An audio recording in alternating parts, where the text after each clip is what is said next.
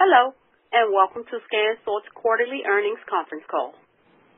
All lines have been placed in a listen-only mode until the question and answer session. Today's call is being recorded. If anyone has any objections, you may disconnect at this time. I would now like to turn the call over to Mary Gentry, Vice President, Treasurer, and Investor Relations. Ma'am, you may begin. Good afternoon, and thank you for joining us. Joining me on the call today are Mike Baur, our Chairman and CEO, John Eldh, our Chief Revenue Officer, and Jerry Lyons, our Chief Financial Officer. We will review our operating results for the quarter and fiscal year and then take your questions. We posted a CFO commentary that accompanies our comments and webcast in the investor relations section of our website. Let me remind you that certain statements in our press release, in the CFO commentary, and on this call are forward-looking statements. These statements are subject to risks and uncertainties that could cause actual results to differ materially from such statements. These risks and uncertainties include, but are not limited to, those factors identified in the earnings release we put out today and in ScanSource's Form 10-K for the year ended June 30th, 2020, as filed with the SEC.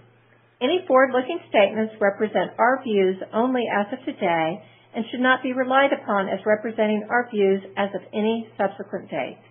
ScanSource disclaims any duty to update any forward-looking statements to reflect actual results or changes in expectations, except as required by law. During our call, we will discuss both GAAP and non-GAAP results and have provided reconciliations between these amounts in the CFO commentary and in our press release.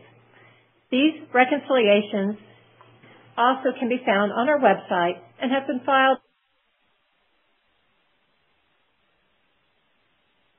Thanks, Mary, and thanks for joining us today. We see today's call as a continuation of the call we held on July 23rd to discuss the actions we are taking to address the business impact of the COVID-19 pandemic and prepare our business for the next phase of growth. On our call, we announced our fourth quarter net sales of $636 million, which reflect negative impacts from the COVID-19 pandemic on the VAR channel and end user demand. As we worked on our fiscal year 2021 annual plan, we continued to see the impact of COVID-19 on our business. We recognized the need to match our SG&A costs with sales volume declines as a result of the COVID-19 pandemic.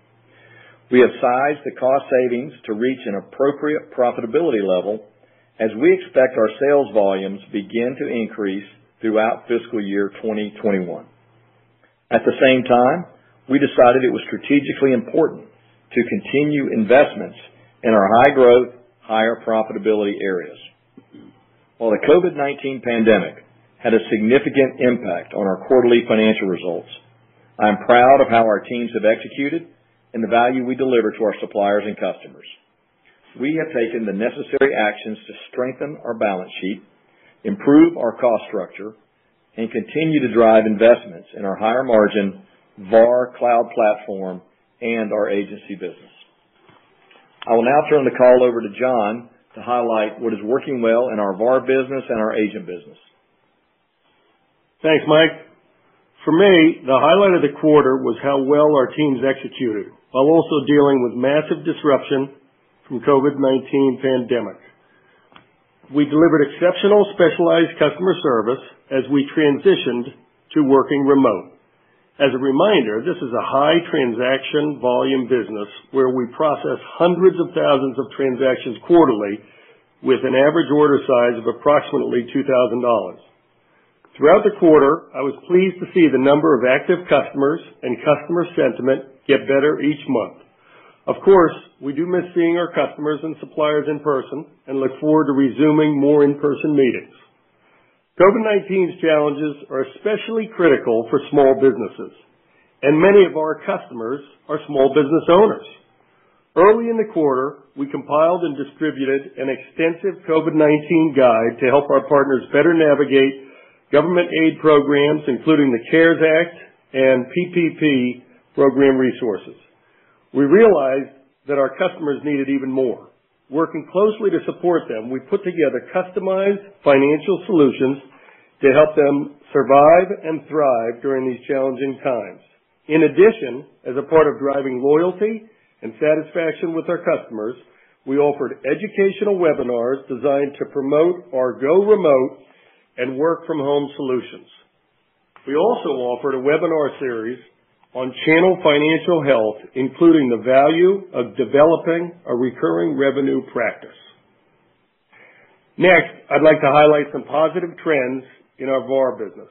During the fourth quarter, our top-selling product categories included mobile computing, mobile printing, networking, video surveillance cameras, and unified communications hardware, software, and services.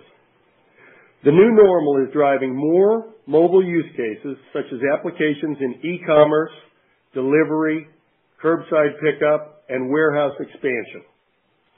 Our heritage of specialized expertise in these technologies continues to be a differentiator.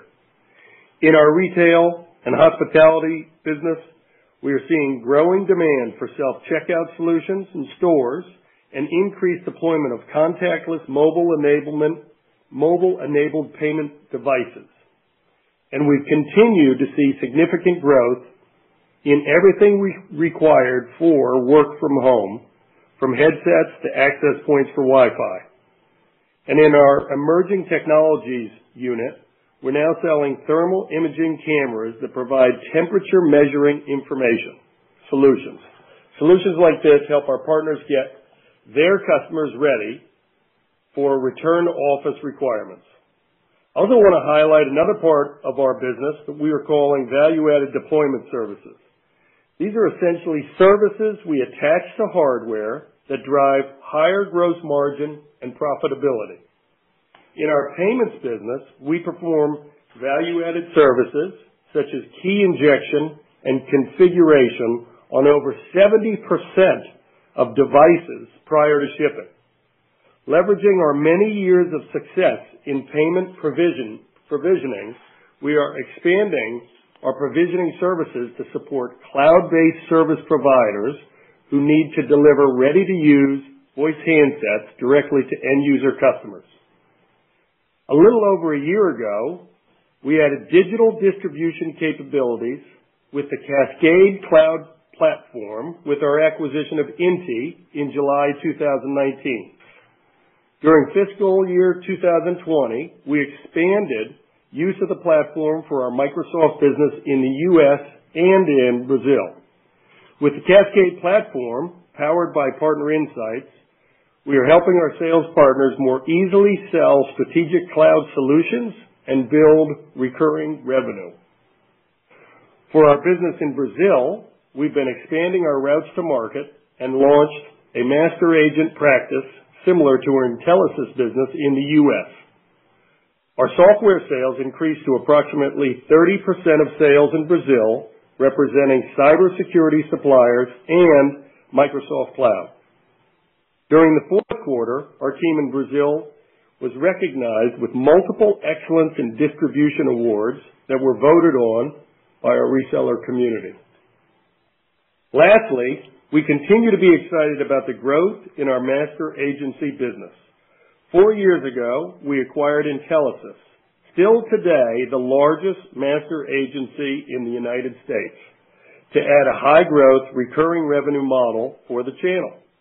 We have seen opportunities for growth in the indirect channel accelerate as suppliers recognize that the agents' community's strong customer relationships lead to slower churn rates. We have also seen cloud suppliers, UCaaS, CCaaS, and other X as a service suppliers choose the agent model as a strategic route to market. Intelisys captured a leading market position with these offerings for our agent sales partners.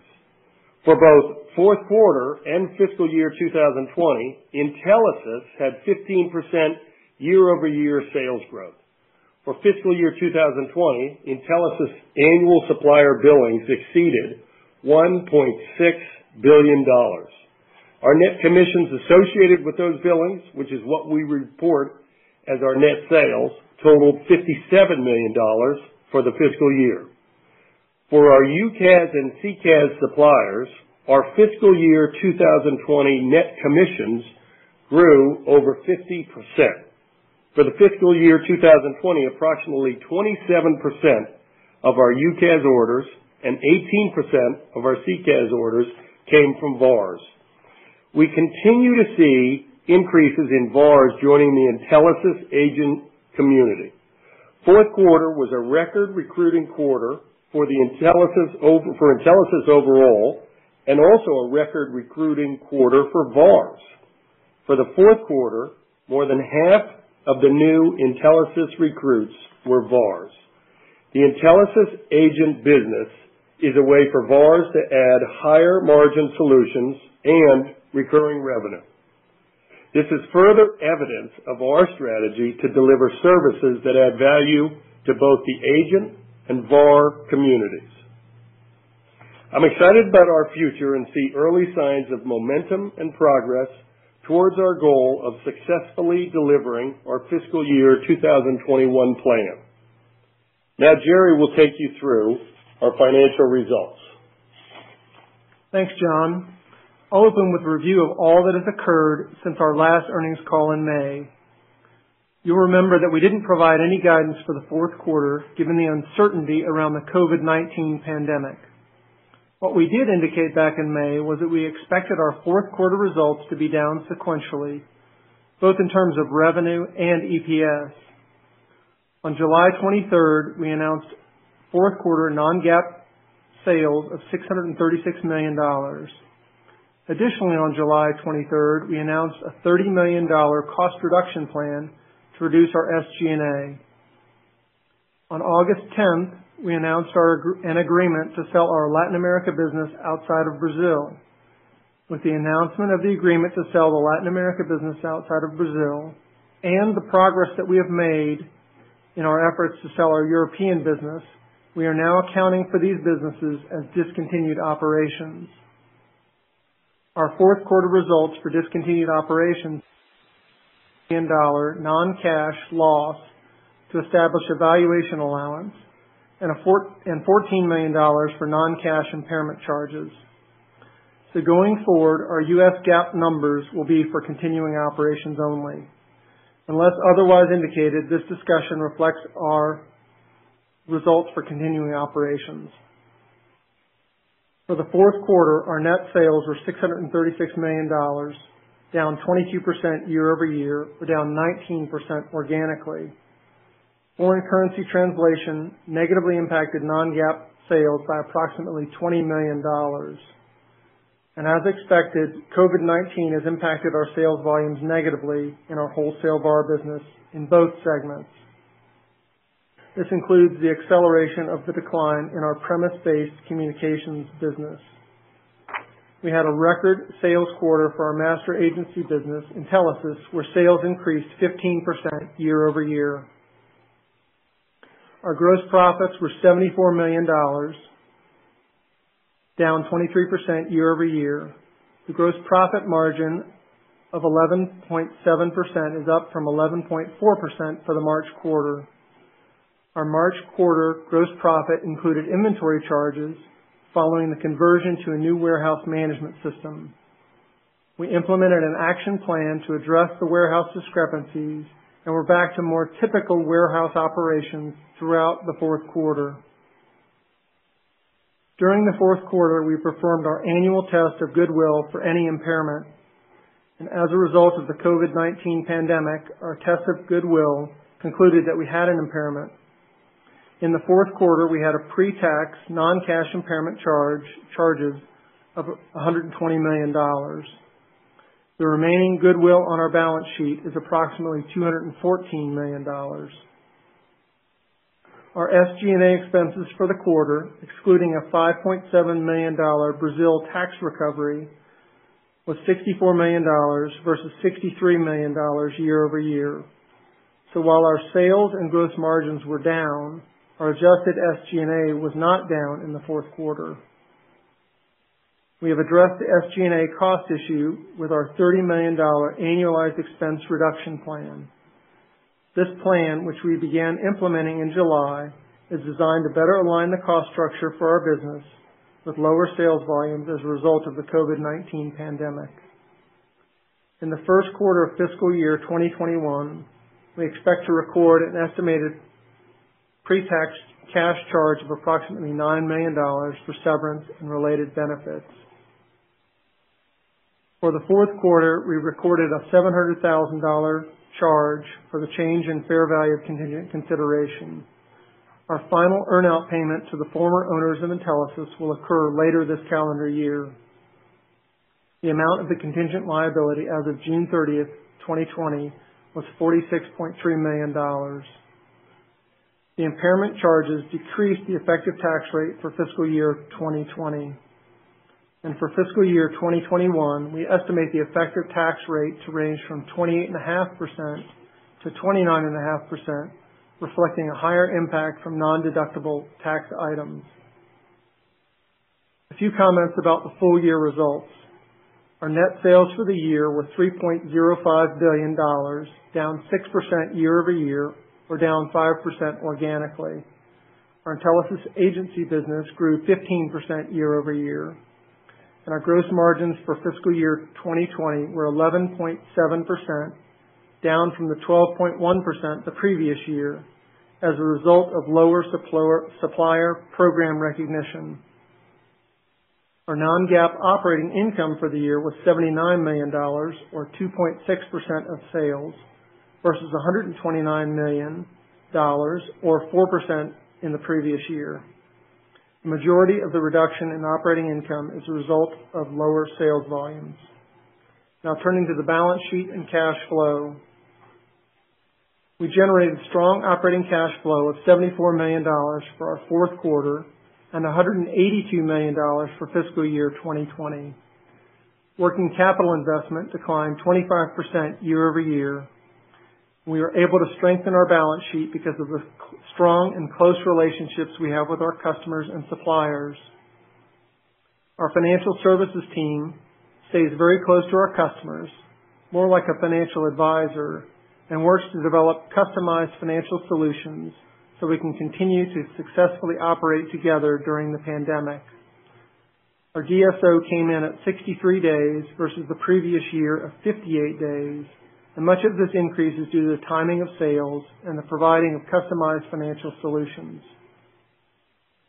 We reduced our June 30, 2020 inventory by 17% year over, sorry, quarter-over-quarter and 18% year-over-year.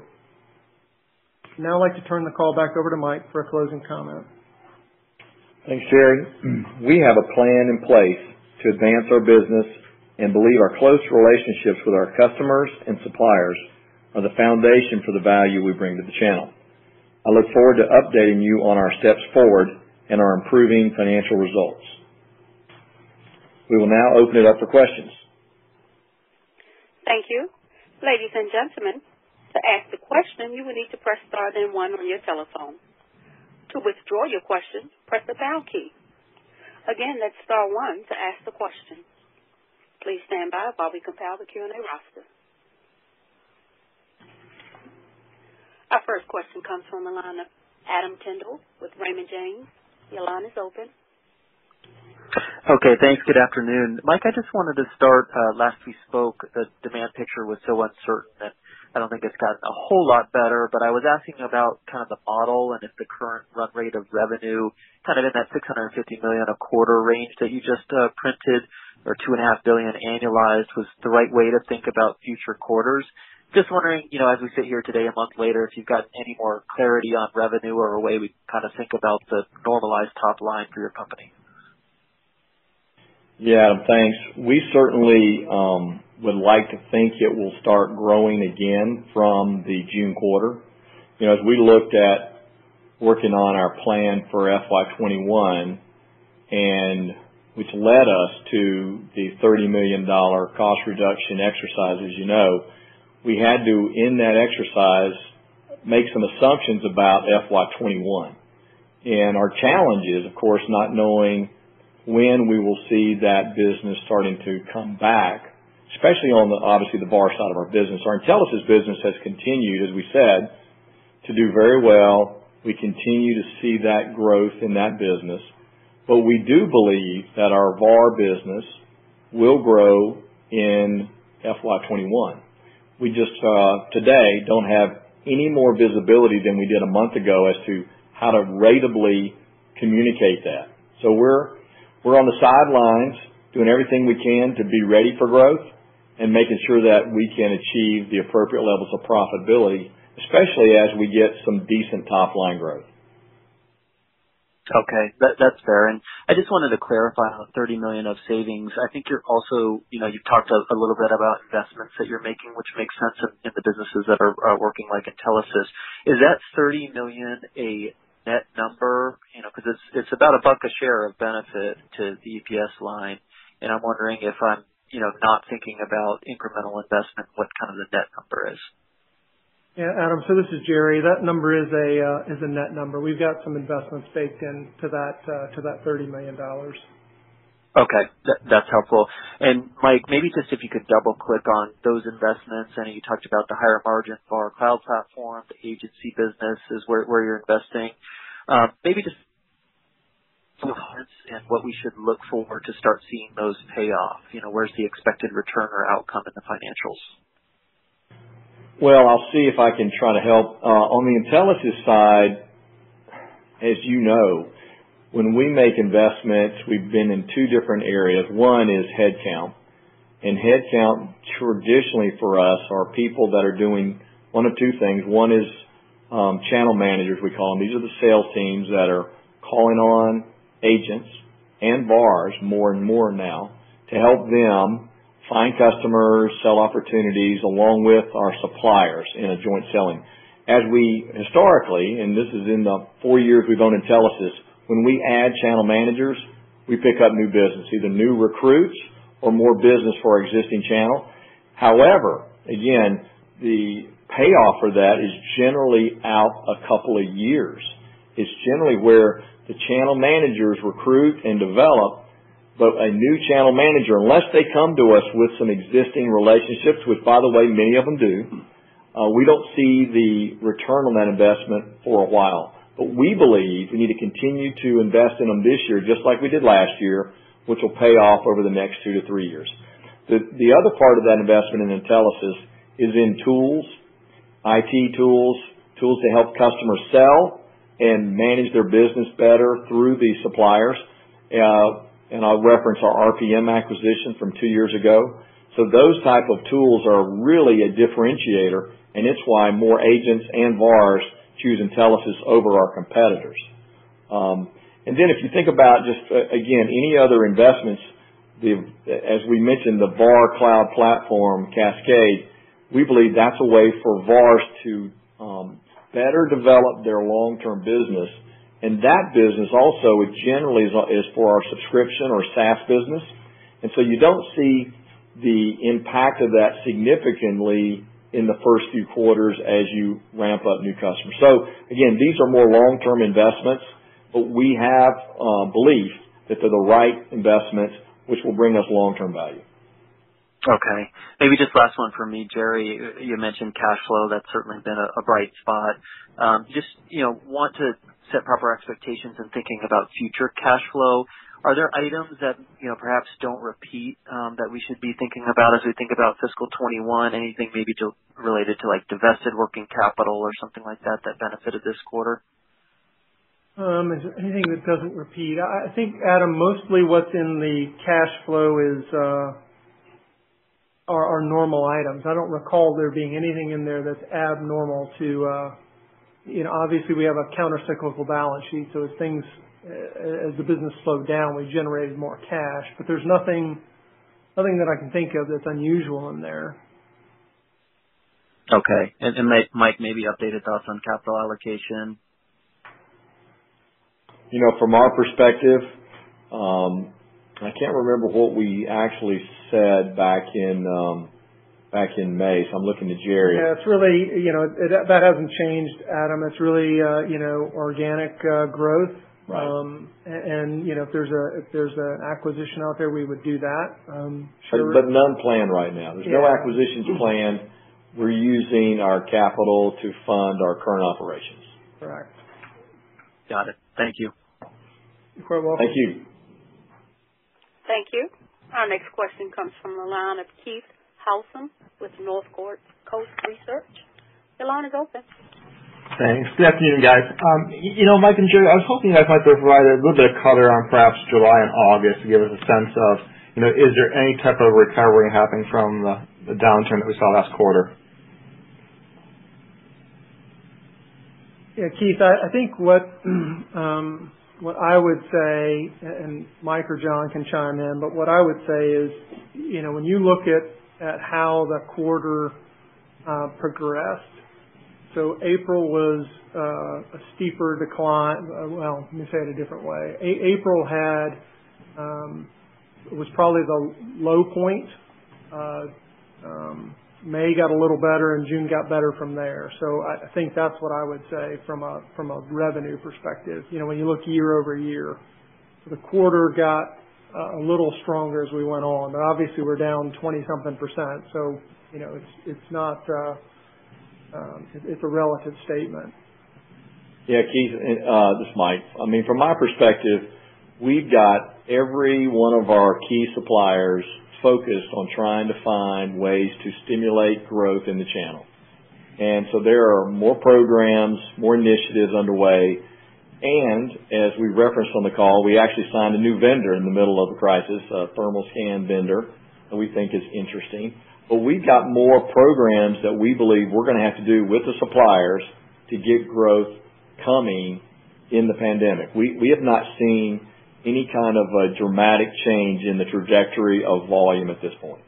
Nothing that's significant. Gotcha. And then you know, coming back to you know, a goal you guys have had over the past several years of getting back to that 3.5%-4% operating margins. You know, as you stand today, um, is it safe to say unless we see a dramatic impact in or, you know, pick up in the business throughout the year, uh, you're probably unlikely to get that here in fiscal 2021? Well, certainly for the year, I don't see that happening. For us to be able to achieve that during the year at some quarter is possible. We we built in a combination of the expense reductions and what we think will be some growth in the business. Number one, coming from the Intelisys side of the business and our VAR, uh, the cloud platform with Cascade.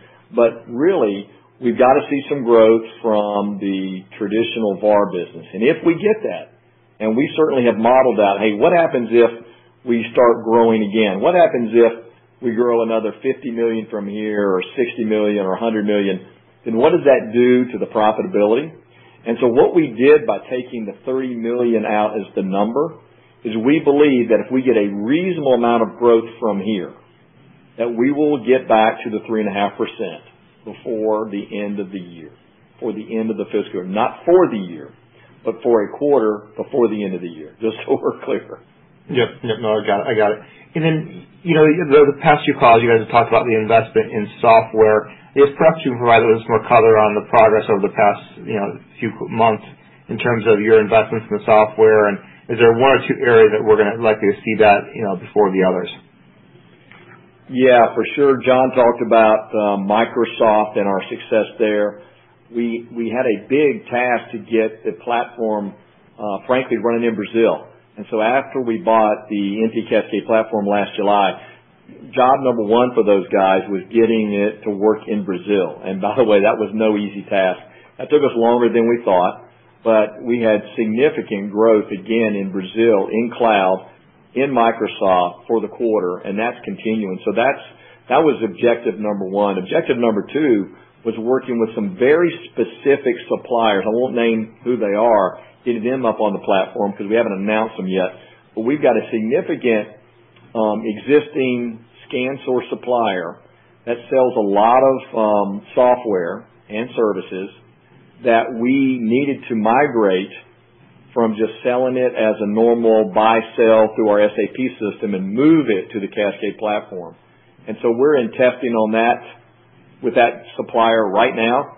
And for the September quarter, we'll have a significant revenue going through the platform. So we will talk to you about that in November. We're excited about it. Okay. Gotcha. And the uh, last question uh, for me. Jerry, I appreciate some of the commentary regarding um, the finance department. But can you speak to about the credit quality that you're seeing in the quarter? And you know, are you seeing credit deteriorate, and is that a concern that you perhaps have in the immediate term? Yeah, sure, Keith. Um yeah so we haven't really seen credit deteriorate. I mean we've had um, lots and lots of conversations, obviously, with our customers. You know, and our team works very very closely with our customers. Um and we we think we provide a great deal of value to those customers. You know, we're constantly working with them, trying to figure out how to get deals done in a way that provides value to our company and to their company. Um and so you know, I've been pleasantly surprised at how resilient the customers have been. And Jerry, Keith, if I can just add to that. I think one of the things that we talked about last quarter and this quarter was our efforts to help our best partners. And we had a seminar series, webinar series that John described on best practices and what the the financial health of a VAR who's in the recurring revenue business and how much better they are.